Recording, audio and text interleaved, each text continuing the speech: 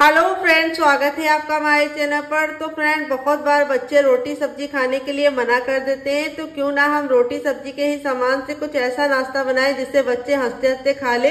तो मम्मा भी खुश और मम्मा के बच्चे भी खुश। तो आज हम आपके लिए लेके आए एकदम मज़ेदार से, झटपट से बनने वाले एकदम नए नाश्ते की रेसिपी जिसे आप हफ़्ते में दो से तीन बार ज़रूर बनाएँगे। इसकी मैं गारंटी लेती हूँ, क्योंकि इतने ज़्यादा चटपटे और कुरकुरे बनते हैं कि घर वाले आपसे जिद करके बनवाएँगे।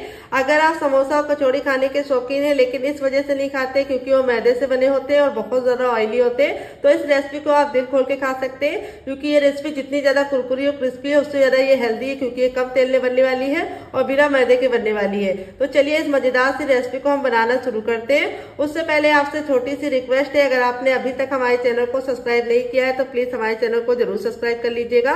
साथ ही नोटिफिकेशन बेल को ऑन कीजिए, ताकि जैसे वीडियो अपलोड करूँ, आपको नोटिफिकेशन मिल पाए सबसे पहले, और आप हमारी आसान रेसिपी का फ़ायदा उठा पाए सबसे पहले। इस रेसिपी को हम बनाएँगे कच्चे आलू से साथ तो टाइम की बचत है, गैस की बचत है।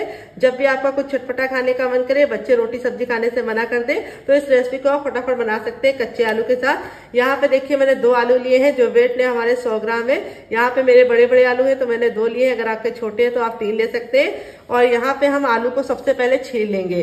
तो फ्रेंड, अगर आपकी फैमिली बड़ी है तो आप आलू की मात्रा को बढ़ा सकते हैं। तो फ्रेंड, आप हमारी ये मज़ेदार सी रेसिपी कहाँ से देख रहे हैं, कमेंट बॉक्स में जल्दी से कमेंट करके बताइए। और साथ में जगह का नाम लिखना मत भूलिएगा, ताकि मैं आपको थैंक्स बोल सकूँ। तो चलिए फटाफट हम आलू को छीन लेते हैं। तो यहाँ पे देखिए, आलू को मैंने छीलने के बाद दो से तीन पानी वॉश कर लिया है। फिर मैंने इसको ठंडे पानी में डाल दिया है। अगर आपके पास ठंडा पानी ना हो तो आप रूम टेम्परेचर पानी में भी डाल सकते हैं। अब आलू को हम ग्रेट करेंगे तो आलू को हमें पानी में ही ग्रेट करना है। यहाँ पे देखिए, हमने जो ग्रेटर इस्तेमाल किया है, ना बहुत ज़्यादा बड़ा वाला है छेन वाला, ना बहुत ज़्यादा छोटे वाला है मीडियम वाले का इस्तेमाल किया है। आलू को हम इस तरीके से लेटाल के ग्रेट करेंगे, जिससे हमें आलू के लंबे लंबे लिच्छे मिलेंगे। तो यहाँ पे आपको ख्याल ये रखना है कि आलू को आपको पानी में ही ग्रेट करना है और इस तरीके से लेटाल के ग्रेट करेंगे तो लच्छे हमें बहुत ज़्यादा लंबे लंबे मिलेंगे। जिससे बहुत ही सुंदर सा लुक आएगा रेसिपी में। अगर आप इसको ऐसे ही कर देते तो छोटे छोटे लच्छे मिलते तो लंबे लंबे लच्छे के लिए आपको इस तरीके से ही करना है। तो चलिए फटाफट इसको हम ग्रेड कर लेते हैं। तब तक आप हमारी वीडियो को लाइक कर दीजिए, क्योंकि बाद में आप लाइक करना भूल जाते हैं डियर और आप लोग कमेंट ज़रूर किया कीजिए, मैं आपके कमेंट को ज़रूर पढ़ती हूँ और साथ में रिप्लाई भी देती हूँ। तो फ्रेंड यहाँ पे देखिए, दोनों आलू को मैंने ग्रेड कर लिया है। लच्छे हमारे देखिए कितने ज़्यादा बारीक और लंबे लंबे मिले हैं। अब इन लच्छों को हम हल्के हाथों से इस तरीके से मसलते हुए वॉश करेंगे। तीन से चार पानी ताकि इसका जितना भी स्टार्च है वो निकल जाए। यहाँ पे आपको इस तरीके से हल्के से दबाना है और फिर इसको एक बर्तन में रख लेना है। आपको इसे तीन से चार पानी अच्छे से वॉश करना है ताकि इसका जितना भी स्टार्च है वो निकल जाए। अगर आप स्टार्च नहीं निकालेंगे तो नाश्ता कभी भी कुरकुरा और क्रिस्पी नहीं बनेगा। तो बहुत सारे लोगों की शिकायत होती है, जब भी वो आलू का नाश्ता बनाते हैं गरम गरम खाते हैं, तब तक कुरकुरा रहता है, लेकिन जब छोड़ देते हैं घंटे बाद खाते हैं तो वो सॉफ्ट हो जाता है। उसका कारण ये है कि आप लोग स्टार्च निकालते नहीं है तो स्टार्च को ज़रूर निकालिए। तो चलिए तीन से चार पानी वॉश करके बाद लेके आते हैं, फिर आपको दिखाते हैं। और इस पानी को हम पौधों में डाल देंगे वेस्ट नहीं करेंगे डियर तो फ्रेंड यहाँ पे देखिए मैंने आलू के लच्छे को तीन से चार पानी अच्छे से वॉश कर दिया है। इसका जितना स्टार्च था वो निकल चुका है। लच्छा हमारा बिल्कुल सफ़ेद और इस तरीके से खिला खिला सा हो गया है।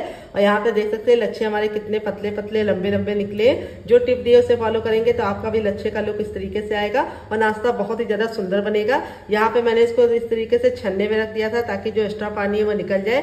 अगर आपके पास इस तरीके का छन्ना ना हो तो आप इसकी जगह पे कॉटन के कपड़े का इस्तेमाल कर सकते हैं। उसके अंदर रख के इसको अच्छे से निचोड़ सकते हैं ताकि सारा पानी निकल जाए। अब यहाँ पे हम इसको क्या करेंगे? एक प्लेट में ट्रांसफ़र कर देंगे सारा का सारा। तो देखिए, इस तरीके से मैंने ट्रांसफ़र कर दिया है। और अब इसके अंदर हम कुछ चीज़ें डालेंगे क्या क्या आइए आपको बता देते हैं। तो सबसे पहले हम इसमें डालेंगे कुटी हुई लाल मिर्च, जिससे बहुत ही सुंदर सा लुक आएगा नाश्ते में। अगर आपके पास कुटी वाली ना हो तो आप किसी वाली भी डाल सकते हैं। यहाँ पे मैंने हाफ़ टी स्पून डाली है, आप अपने टेस्ट के अकॉर्डिंग डाल सकते हैं। तीखा अगर आप ज़्यादा खाते हैं तो आप थोड़ा और डाल सकते हैं। अगर कम खाते हैं तो कम कर सकते हैं। फिर टेस्ट के अकॉर्डिंग नमक डालेंगे। यहाँ पे मैंने हाफ़ टी स्पून डाला है। आप अपने टेस्ट के अकॉर्डिंग डालना, जितना खाते हैं, उतना डाल सकते हैं। और अब इसको चटपटा बनाने के लिए इसके अंदर हाफ़ टी स्पून डालेंगे चाट मसाला। अगर आपके पास चाट मसाला ना हो तो आप इसकी जगह पे नींबू का रस भी डाल सकते हैं या फिर ड्राई आमचूर पाउडर यानी खटाई का इस्तेमाल कर सकते हैं। फिर इसके बाद हम इसके अंदर क्या डालेंगे? हम इसके अंदर डालेंगे भुना हुआ जीरे का पाउडर, हाफ़ टी स्पून तक, जिसको मैंने तावे पे ड्राई रोस्ट करके भून लिया था और फिर इसको पाउडर बना लिया है। एक चुटकी हम इसमें डालेंगे गरम मसाला, जो मेरा होममेड है। अगर आपको इसकी रेसिपी चाहिए तो कमेंट बॉक्स में कमेंट करना, मैं आपके साथ शेयर करूँगी। ज़्यादा नहीं डालना है सिर्फ़। एक से दो चुटकी डालना है फिर इसके बाद हम इसमें ऑयल डालेंगे। हाफ़ टी स्पून तक। आप घी और बटर भी डाल सकते हैं, लेकिन सरसों का तेल मत डालना। फिर इसके बाद हम इसमें डालेंगे ढेर सारा हरा धनिया, जिसको मैंने इस तरीके से मोटा मोटा कट कर लिया है। यहाँ पे आपको ख्याल ये रखना है कि हरा धनिया को मोटा मोटा कट करना है, जिससे बहुत ही सुंदर सा लुक आएगा। अब इसको हम हल्के हल्के हाथों से मिला देंगे। यहाँ पे आपको ख्याल ये रखना है कि आपको इसे बहुत तेज़ी से नहीं मिलाना है, नहीं तो लच्छे टूट जाएँगे। अब इसको हम दो मिनट के लिए छोड़ देंगे, क्योंकि हमने इसके अंदर नमक डाला है तो आलू को जितना भी पानी छोड़ना होगा छोड़ देगा, ताकि हमें पता चल जाए कि यह हमारा कितना चिपचिपा होगा, तभी हम आगे का काम करेंगे। तो चलिए इसको दो मिनट के लिए छोड़ देते हैं, मसाले भी इसके अंदर समा जाएँगे और दो मिनट के बाद इसे चेक करेंगे, तब तक दूसरा काम करते हैं। तो फ्रेंड आ गए गैस की तरफ़। यहाँ पे देखिए मैंने एक पैन लिया है। आप चाहे तो इसकी जगह पे कढ़ाई भी ले सकते हैं, जो भी बर्तन लीजिए थोड़ा सा भारी लीजिए। अब ना इसमें घी डालेंगे, ना बटर डालेंगे, ना ही ऑयल डालेंगे। जब हमारा पैन गर्म हो जाएगा, तब इसमें हम एक गिलास पानी ऐड करेंगे। तो यहाँ पे मैंने एक ग्लास ऐड किया है। अगर आप कप से डालेंगे तो आपको दो कप लग जाएँगे। थोड़ा सा इसके अंदर ऑयल डालेंगे, एक से दो बूंद। आप घी और बटर भी डाल सकते हैं। अब इसके बाद हम इसमें टेस्ट के अकॉर्डिंग नमक डालेंगे।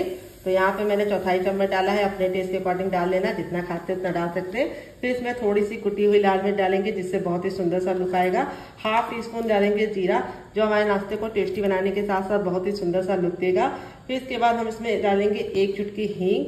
हींग ज़रूर डालिएगा, इससे बहुत ही अच्छा सा फ्लेवर आएगा। फिर चौथाई चम्मच हम इसमें डालेंगे चाट मसाला। अगर आपके पास चाट मसाला ना हो तो आप इसकी जगह पे नींबू का रस डाल सकते हैं, या फिर ड्राई आमचूर पाउडर यानी खटाई का इस्तेमाल कर सकते हैं। और थोड़ा सा हम इसके अंदर डालेंगे हरा धनिया, जिससे बहुत ही सुंदर सा लुक आएगा। अब सारी चीज़ों को हम अच्छे से मिक्स कर लेंगे। और एक उबाल आने का वेट करेंगे। तो जब तक उबाल नहीं आएगा, हमें कुछ भी नहीं करना है। जैसे उबाल आ जाएगा, हम क्या करेंगे? यहाँ पे हम ले लेंगे सूजी, जिसको रॉय बोलते हैं बोलते हैं। यहाँ पे देखिए, मैंने बारीक वाली सूजी का इस्तेमाल किया है। अगर आपके पास मोटी वाली हो तो मिक्सी जार में डाल के ग्राइंड कर लीजिएगा। बारीक हो जाएगी। यहाँ पे वेट ने हमने 50 ग्राम लिया और नाप में एक कप लिया है। अगर आपके पास इस तरीके से कप ना हो तो आप मेज़रमेंट कप का भी इस्तेमाल कर सकते हैं। अगर ना हो तो आप कटोरी भी ले सकते हैं। घर वाली कटोरी ले लीजिए, अगर मेज़रमेंट कप ना हो तो डियर थोड़ी थोड़ी सूजी डाल के इस तरीके से मिक्स करते हुए पकाएँगे तो इसमें गुठलियाँ नहीं पड़ेंगी और बहुत ही अच्छा सा टेक्सचर आएगा। तो यहाँ पे देखिए मैंने एक गिलास पानी में एक कटोरी सूजी डाली है, बहुत ही बेसिक सा मेज़रमेंट है। अगर आप दो कप ले रहे हैं सूजी या कटोरी तो आपको दो बड़ा गिलास पानी डाला होगा। तो जितनी आप सूजी ले रहे हैं, उसका आपको दुगना पानी डालना होगा। बहुत ही बेसिक सा मेज़रमेंट है। इस बात का आप ख्याल रखेंगे तो जो आप डो बनाएँगे, वो बहुत ज़्यादा ना गीला होगा और ना बहुत ज़्यादा ड्राई होगा। इस तरीके से बन जाएगा। तो सूजी को पकने में बहुत ही कम टाइम लगता है। इसीलिए जो बर्तन लीजिएगा थोड़ा सा भारी लीजिएगा और फैला हुआ लीजिएगा, ताकि आपको इसको चलाने में कोई दिक्कत ना हो और बिल्कुल भी जले ना। तो यहाँ पे देखिए, बातों ही बातों में सूजी हमारी बिल्कुल अच्छे से पक गई है। तो इसको सूजी बोलते हैं, रवा भी बोलते हैं सवेलिना ही बोलते हैं। अगर इसका कोई नया नाम हो तो कमेंट बॉक्स में ज़रूर बताइएगा और साथ में जगह का नाम लिखना मत भूलिएगा। अब ये देखिए, बिल्कुल अच्छे से सिमट गई है और इस तरीके से पैन छोड़ने लगी है। गैस के फ्लेम को हम बंद कर देंगे, क्योंकि पैन हमारा गर्म है, उसी से और पक जाएगा। यहाँ पे मैं आपको चेक करने का तरीका बताऊँगी, थोड़ा सा लेंगे और इसको इस तरीके से गोला बनाएँगे। अगर गोले में बिल्कुल भी क्रैक नहीं है तो समझ जाइए आपका जो मिश्रण है अच्छे से पक गया है तो बिल्कुल भी क्रैक नहीं है, अच्छे से पक गया है। अब हम इसको एक प्लेट में निकाल के हल्का सा ठंडा होने का इंतज़ार करेंगे, क्योंकि काफ़ी ज़्यादा जल रहा है और फिर इस्तेमाल करेंगे। गरम गरम मत छुइएगा, नहीं तो आपके हाथ जल जाएँगे। हल्का सा गुनगुना होगा, तब काम करेंगे। तो चलिए इसको साइड में रख देते हैं, तब तक दूसरा काम करते हैं। फ्रेंड, यहाँ पे देखिए मैंने ट्रांसफ़र करके इसको साइड में रख दिया ठंडा होने के लिए। पैन को वापस से गर्म कर लेंगे। अब इसमें हम डालेंगे थोड़ा सा ऑयल आप घी और बटर भी डाल सकते हैं। सिर्फ़ आधा चम्मच। जैसे ऑयल हमारा गर्म हो जाएगा, हम क्या करेंगे, इसके अंदर डाल देंगे थोड़ी सी अजवाइन, एक चुटकी, और अब इसमें हम चौथाई चम्मच डाल देंगे प्याज। तो यहाँ पे प्याज को मैंने इस तरीके से मोटा मोटा कट लिया है। सिर्फ़ चौथाई चम्मच डालना है। प्याज को हम हल्का सा ट्रांसपेरेंट होने देंगे। जब हमारी प्याज इस तरीके से ट्रांसपेरेंट हो जाएगी, तब एक ग्रीन चिली को हम इस तरीके से तोड़ कर डाल देंगे। फिर एक इंच का अदरक लेंगे, जिसको इस तरीके से हमने मोटा सा टुकड़ा कट कर लिया है और छिलके के साथ लिया है। अब इसके बाद हम इसमें दो कलियाँ लहसुन की डालेंगे।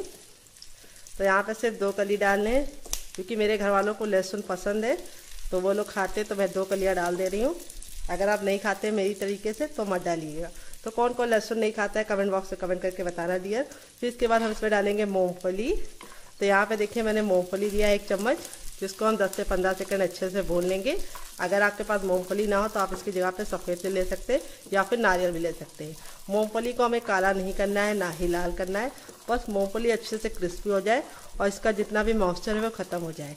तो एक मिनट तक हम मूँगफली को अच्छे से भून लेंगे। यहाँ पे देखिए बहुत ही प्यारी सी खुशबू आने लगी है और मूँगफली हमारी अच्छे से क्रिस्पी हो गई है। तब इसके बाद हम इसके अंदर क्या डालेंगे, आइए आपको बता देते हैं। तो अब इसके अंदर हम डालेंगे ग्रेटेड नारियल, एक बड़ा चम्मच। अगर आपका छोटा चम्मच है तो आपको दो चम्मच लग जाएगा। तो ग्रेटेड नारियल बहुत ही आसानी से मिल जाता है, अगर आपके पास ना हो तो आप इसकी जगह पे नॉर्मल वाला जो नारियल होता है, उसको भी घिस के ले सकते हैं। तो मार्केट से लेते हैं तो उसमें काला वाला भाग नहीं होता है, जिससे रेसिपी में बहुत ही अच्छा सा लुक आएगा। तो इसको कई जगह पे खोपड़ा भी बोलते हैं। अगर इसका कोई नया नाम हो तो कमेंट बॉक्स में ज़रूर बताना और साथ में जगह का नाम लिखना मत भूलना। तो यहाँ पे देखिए, इसको भी हम 10 से 15 सेकंड अच्छे से भून लेंगे। फिर इसके बाद थोड़ा सा चाट मसाला ऐड करेंगे। थोड़ा सा इसमें कुटी हुई लाल मिर्च ऐड करेंगे क्योंकि हमने हरी भी डाली है और थोड़ा सा भुना हुआ जीरा और काली मिर्च का पाउडर ऐड करेंगे। बस हम सारी चीज़ों को वापस से भून लेंगे। तो यहाँ पे देखिए भून लिया है।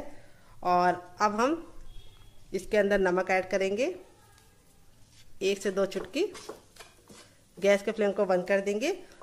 और इसको एक कटोरी में निकाल लेंगे तो चलिए निकाल लेते हैं। तो यहाँ पे देखिए, सबसे छोटा वाला मिक्सी का जार लिया, ना बड़ा वाला और ना ही मीडियम वाला इस्तेमाल करना है। यहाँ पे देखिए इतना ठंडा हो गया कि हम इसे आराम से छुपा रहे हल्का सा गुनगुना होगा तो चलेगा।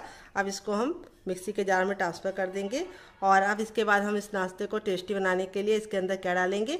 हम इसमें डालेंगे ढेर सारा हरा धनिया, जिसको मैं डंठल के साथ डाल रही हूँ। डंठल में बहुत ही अच्छा टेस्ट होता है तो इसको स्किप करने की ज़रूरत नहीं है। थोड़ा सा पाई डालेंगे, एक से दो चम्मच, ज़्यादा पानी नहीं डालना है। और आप इसको कवर करके बिल्कुल अच्छे से इसका पेस्ट बना लेंगे। तो चलिए पेस्ट बना के लेके आते हैं, फिर आपको दिखाते हैं। तो फ्रेंड यहाँ पे देखिए मैंने इसको पीस लिया है। पीसने में बिल्कुल भी दिक्कत नहीं होती, अच्छे से पीस जाता है। अब आप चाहें तो इसको ऐसे भी इंजॉय कर सकते हैं। बहुत ही ज़्यादा टेस्टी है। लेकिन मैं इसको और ज़्यादा टेस्टी बनाऊँगी, इसके ऊपर लगाऊँगी तड़का, जिससे इसकी जो सेल्फ लाइफ है वो भी बढ़ जाएगी टेस्ट भी बढ़ जाएगा। और दूसरी बात, इसका लुक भी बहुत सुंदर आएगा। और ये चटनी दस से पंद्रह दिन तक बिल्कुल भी ख़राब नहीं होगी। तो यहाँ पर देखिए, तड़के लगाने के लिए मैंने क्या लिया है? मैंने लिया है थोड़ा सा जीरा थोड़ा सा मैंने लिया है सरसों, और एक साबुत खड़ी लाल मिर्च को इस तरीके से तोड़ लिया है। और अब इसमें हम एक चुटकी ऐड कर देंगे हींग। यहाँ पे तेल को बिल्कुल अच्छे से गर्म कर लिया, इस तरीके से धुआंधार अब इसके अंदर ऐड कर देंगे इसको 10 से 15 सेकंड चटकने देंगे, काला बिल्कुल भी नहीं करेंगे और इस तरीके से ऐड कर देंगे। तो यहाँ पे देखिए इस तरीके से ऐड कर दिया है, कितना बढ़िया सा लुक आ गया है टेस्ट भी अच्छा हो गया है और इसकी सेल्फ लाइफ भी बढ़ गई है। 10 से 15 दिन तक ये चटनी बिल्कुल भी खराब नहीं होगी। चाहे तो आप इसको फ्रिज में स्टोर कीजिए, चाहे तो आप इसको किचन के किसी भी कोने में रख दीजिए, बिल्कुल भी खराब नहीं होगी, इसकी मैं गारंटी लेती हूँ। और इस चटनी के साथ आप कोई भी नाश्ता सर्व करेंगे, उसका टेस्ट दुगना नहीं, चौगना हो जाएगा। तो यहाँ पे देखिए एक बड़े साइज़ का बर्तन ले लिया। अब इसके अंदर हम क्या डालेंगे? हर किचन में मौजूद गेहूँ का आटा, या वही आटा जिससे हम लोग रोटी बनाते हैं, चपाती बनाते हैं। वेट नहीं है हमारा मुश्किल से 50 ग्राम है। नाप में एक कप है आप कटोरी से मेज़रमेंट कर सकते हैं डियर इस रेसिपी में आपको मेज़रमेंट का खास ख्याल रखना है। जो चीज़ें मैं जितनी मात्रा में बताऊँगी, उतनी मात्रा में डालेंगे तो आपका रिज़ल्ट बहुत ही अच्छा आएगा। अब आटे को हम ट्रांसफ़र कर देंगे। फिर इसके बाद हम इसके अंदर क्या डालेंगे? हम इसमें डालेंगे एक ग्रीन चिली जिसको हमने इस तरीके से मोटा मोटा कट कर लिया है। फिर इसके बाद हम इसमें डालेंगे ढेर सारा हरा धनिया। अगर आपके पास हरा धनिया ना हो तो आप पुदीने का भी इस्तेमाल कर सकते हैं। एक शिमला मिर्च डालेंगे, जो छोटे साइज़ की थी तो मैंने इस तरीके से पूरी ले ली है। अगर आपकी बड़ी है तो आप सिर्फ़ आधा लेना।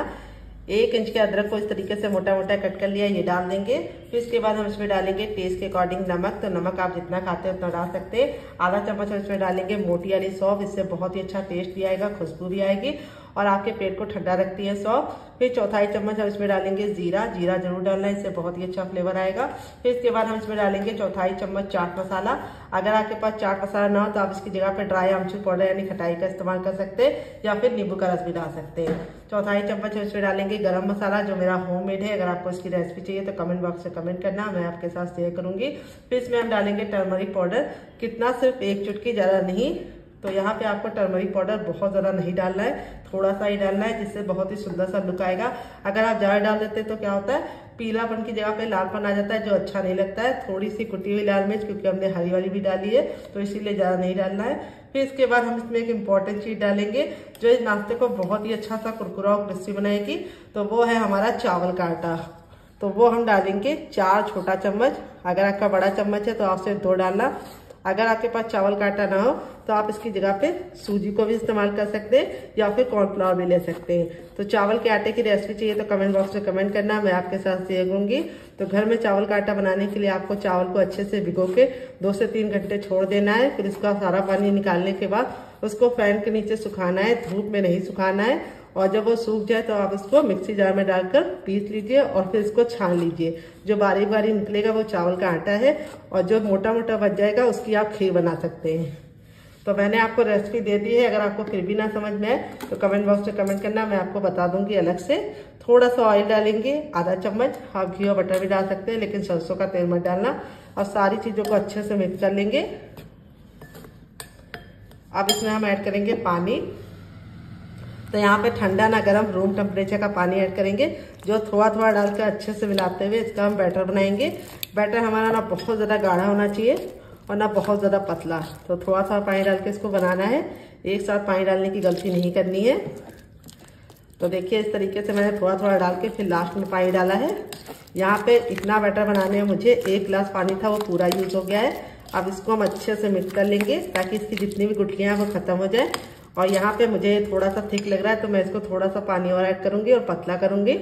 तो यहाँ पे देखिए, मैं थोड़ा सा पानी और ऐड कर रही हूँ, तीन से चार चम्मच, और इसको वापस से मिक्स करूँगी। तो यहाँ पे मैंने एक गिलास और चार चम्मच पानी और इसके अंदर ऐड किया है, और इस तरीके से हमारा बैटर बन चुका है। जो ना बहुत ज़्यादा गाढ़ा है, ना बहुत ज़्यादा पतला है। अब इसमें ऐड करेंगे हम गाजर।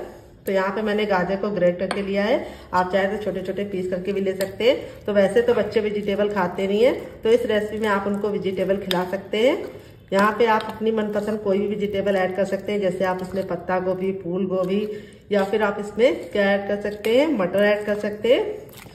यहाँ पे जो आपके किचन में आपको मिले वो सब्ज़ी ऐड कर दीजिए। वैसे तो बच्चे बहुत ज़रा नखरे करते हैं खाने में सब्ज़ी, लेकिन इस रेसिपी में बच्चे खुशी खुशी खाएँगे। यहाँ पे देखिए आलू जो था, जितना पानी छोड़ना था छोड़ दिया है। अब इसका सारा पानी हम इसी के अंदर ऐड कर देंगे और आधा मिश्रण हम इसके अंदर डाल देंगे और आधा हम बचा लेंगे। उसको हम बाद में इस्तेमाल करेंगे नाश्ते को सुंदर सा लुक देने के लिए। तो यहाँ पे देखिए इस तरीके से हमने डाल दिया है। और इस तरीके से हमारा बैटर बन चुका है। अभी आपको थोड़ा सा ये पतला लग रहा होगा, लेकिन जैसे ही हमारा आटा फूलेगा तो ये गाढ़ा हो जाएगा। और जो हमने चावल का आटा डाला है, वो भी फूलने के बाद इसको और गाढ़ा कर देगा। तो चलिए इसको दो मिनट का रेस्ट देते हैं, तब तक हम दूसरा काम करेंगे, इसे साइड में रखते हैं। तो फ्रेंड यहाँ पे देखिए, इतना गुनगुना है कि हम इसे आराम से छू पा रहे हैं। बहुत ज़्यादा गर्म नहीं है। और अपनी हथेली पे हम थोड़ा सा ऑयल लगा लेंगे। आप घी और बटर भी लगा सकते हैं। इस तरीके से हथेली को ग्रीस करने के बाद, अब इसको हम अच्छे से मस लेंगे और मसल मसल कर चिकना करेंगे। मसलने से दो फ़ायदे होंगे। एक तो जो सूजी का बिखरावपन है, वो खत्म हो जाएगा, और ये हमारा जो मिश्रण है, बिल्कुल अच्छे से चिकना हो जाएगा। यहाँ पे आपको इसे हल्का सा जब गुनगुना हो, तभी मसलना है। अगर आप इसको पूरी तरीके से ठंडा कर देंगे तो ये बिल्कुल अच्छे से सिमटेगा नहीं, और बिखरा बिखरा रहेगा, और फिर आपको नाश्ता को सेव देने में बहुत ज़्यादा दिक्कत होगी। तो इस तरीके से हम बिल्कुल अच्छे से इसको मसल लेंगे, दस से पंद्रह सेकेंड। इससे हमारा नाश्ता बहुत ही ज़्यादा कुरकुरा और क्रिस्पी बनेगा। तो यहाँ पे देखिए, बातों ही बातों में मैंने बिल्कुल अच्छे से इसको मसल लिया है और मसल मसल के इस तरीके से चिकना कर लिया है। यहाँ पे देखिए, इस तरीके से इकट्ठा हो गया है। अब इसको हम शेप देंगे तो यहाँ पे इस तरीके से हम लेंगे और इसको हम 10 से 15 सेकंड वापस से हथेली पे मस लेंगे ताकि जो थोड़ा बहुत है वो भी खत्म हो जाए। और इस तरीके से हम इसको गोला बनाने के बाद, इस तरीके से चपटा करने के बाद, इस तरह से हल्का हल्का सा दबाते हुए शेप दे देंगे। यहाँ पे हमको इस तरीके से इसको बनाना है।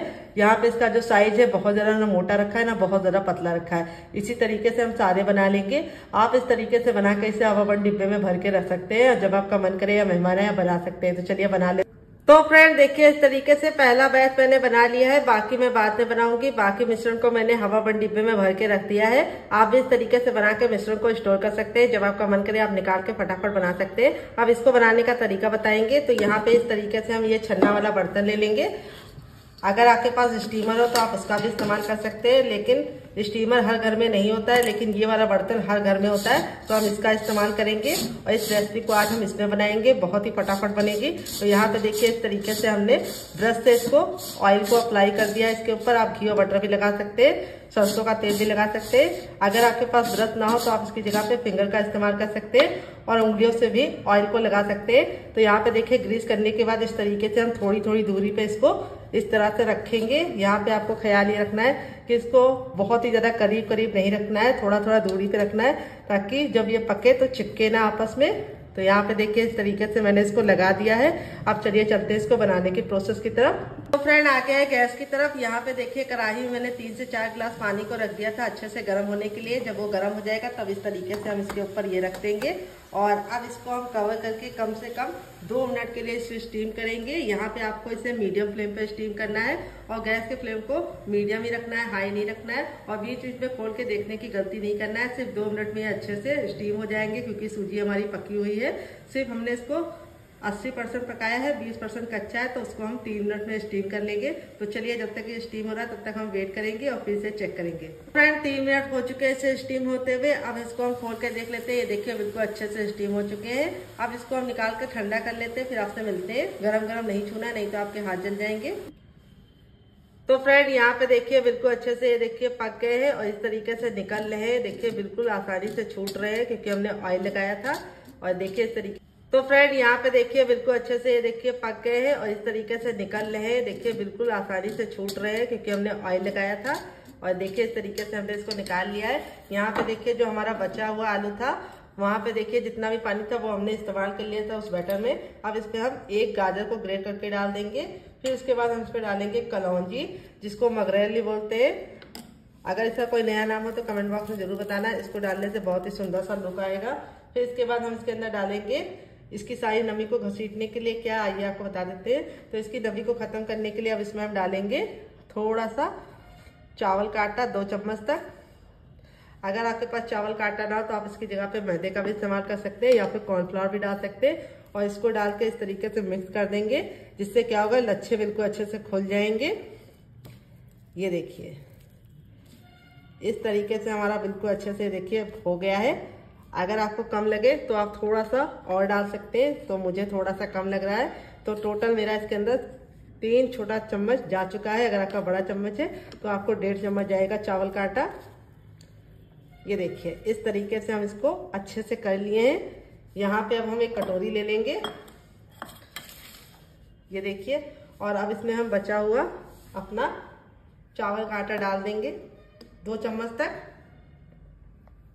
और अब इसमें ऐड करेंगे हम पानी। तो यहाँ पे हमें रूम टेम्परेचर का पानी ऐड करना है, दो से तीन चम्मच, और इसको अच्छे से मिक्स कर लेना है पहले। एक साथ पानी डालने की गलती मत करना, नहीं तो क्या होगा बैटर पड़ जाएगा। सॉरी बैटर में हमारी गुठलियाँ पड़ जाएँगी। तो फ्रेंड अगर आपको रेसिपी में कुछ भी अच्छा लग रहा हो तो प्लीज़ एक लाइक ज़रूर कर दीजिए। और आपको रेसिपी कैसी लगती है, हमारी कमेंट बॉक्स में ज़रूर बताया कीजिए। मुझे आपके कमेंट को पढ़ के जो खुशी मिलती है, वो मैं आपको बता नहीं सकती हूँ। तो टोटल मैंने इसमें चार छोटा चम्मच पानी ऐड करके इस तरीके से घोल बना लिया है। पतला सा, बहुत ज़्यादा गाढ़ा नहीं है और बहुत ज़्यादा पतला भी नहीं है। अब हम क्या करेंगे, इसके अंदर अपनी इस तरीके से टिक्की को डाल देंगे और यहाँ पे हम इसको क्या करेंगे, इस तरीके से एक से दो बार घुमा देंगे ताकि जो हमारा घोल है, इसके ऊपर अच्छे से लग जाए और फिर हम इसको निकाल लेंगे इस तरीके से साइड में करके। और इसके अंदर डाल देंगे और अब अपने सूखे हाथों से इसके ऊपर इस तरीके से कोटिंग करेंगे, जिससे क्या होगा कि ये जो हमारा है, ये बिल्कुल अच्छे से चिपक जाएगा। ये देखिए, इस तरीके से हमें फिंगर की सहायता से चिपका देना है और हल्का हल्का सा शेप दे देना है।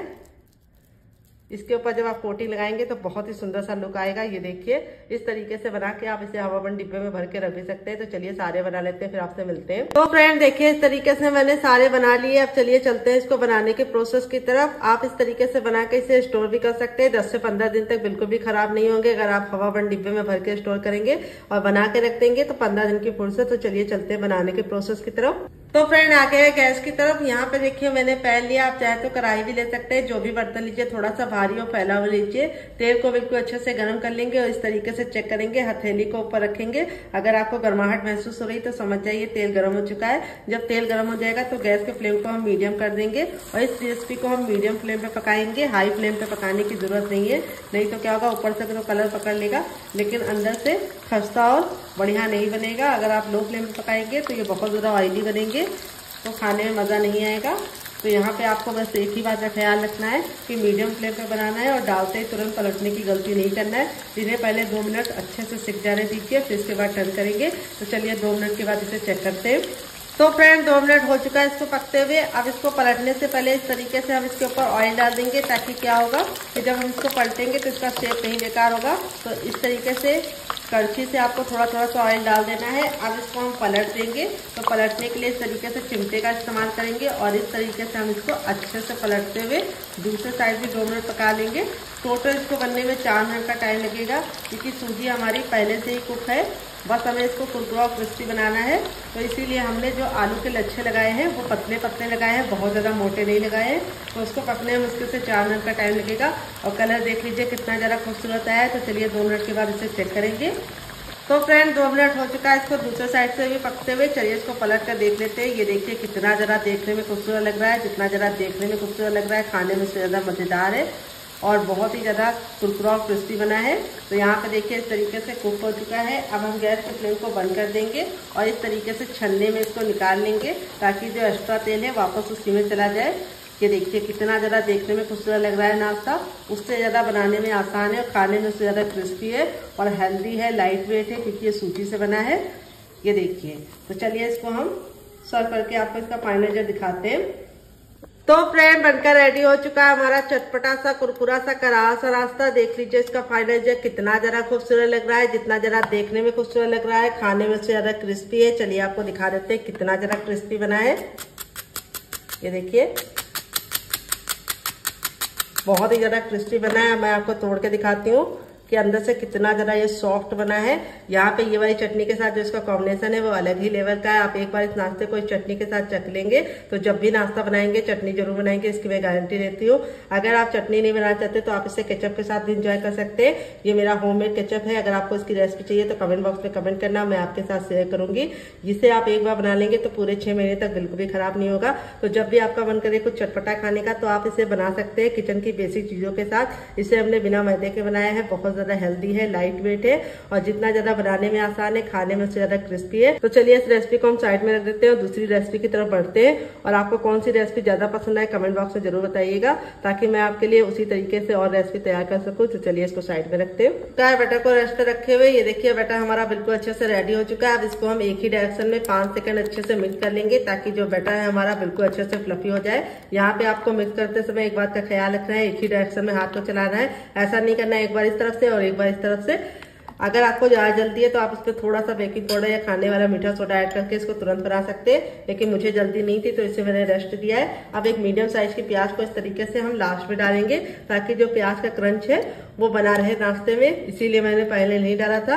अगर आप प्याज नहीं खाते तो स्किप कर सकते हैं डियर तो यहाँ पे देखिए बैटर हमारा जो रेडी हुआ है, बहुत ज़्यादा ना गाढ़ा है, ना बहुत ज़्यादा पतला है। आप इस तरीके से बैटर को बना के रात नहीं रख सकते हैं फ्रिज पे और सुबह फटाफट गर्मा गर्म नाश्ता बना के बच्चों को टिफ़िन बॉक्स में, पति को लंच बॉक्स में दे सकते हैं। तो चलिए इसको बनाना शुरू करते हैं, चलते हैं गैस की तरफ़। तो फ्रेंड यहाँ पे देखिए, जिसमें मैंने पहला नाश्ता बनाया था, उसका मैंने सारा तेल निकाल दिया जो थोड़ा सा पैन में लगा था, उसी को मैंने रखा है। आप चाहे तो अगर फ्रेश पैन ले रहे तो उसमें थोड़ा सा आधा चम्मच तेल डाल सकते हैं और इस तरीके से बचे हुए तेल को इस तरीके से हम फैला लेंगे और अब हम अपने बैटर को इस तरीके से अच्छे से फेंट लेंगे ताकि जो वेजिटेबल है बिल्कुल अच्छे से आपस में मिल जाए।